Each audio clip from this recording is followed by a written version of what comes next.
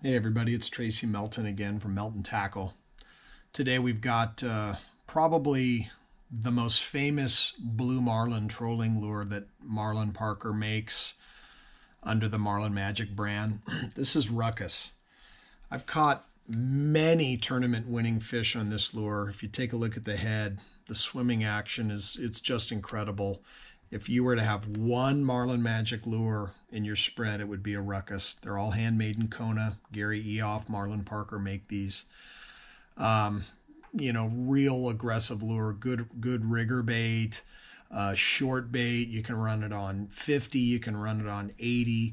These are handmade lures. No two are exactly alike, but it's really a world famous big fish bait. You can see all the different shell inserts that go into this, the front taper. This is a black back, purple shell shaky teddy bear eye. They still use the old school teddy bear eyes in them. Really a cool lure. Check it out at meltontackle.com. These are the Marlin Magic Ruckuses. You can see the full range of baits that we offer, all the different head colors, different multiple color top pours. We've got dichro glass up here. The dichroics are real popular.